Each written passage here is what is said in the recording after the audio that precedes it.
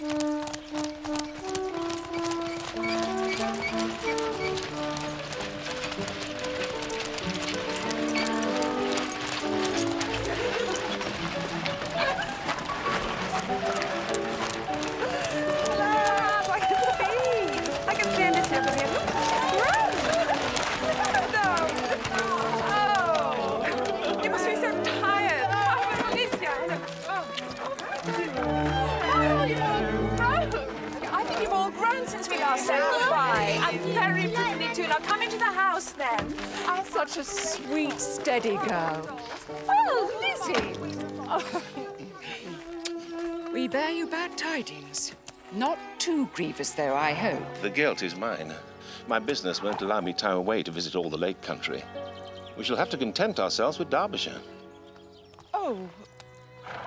But Derbyshire has many beauties, has it not? Indeed, to me, Derbyshire is the best of all counties. You will judge for yourself whether Chatsworth is not the equal of Blenheim. And surely the southern counties have nothing to compare to the wild and untamed beauty of the peaks.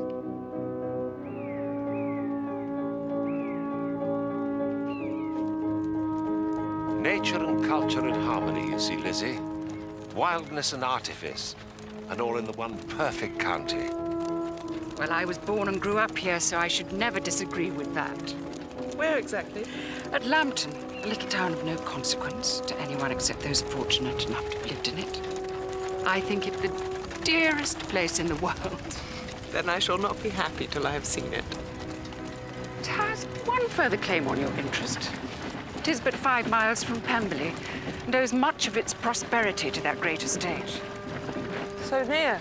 Not that I or any of my acquaintance enjoyed the privilege of intimacy with that family. We moved in very different circles.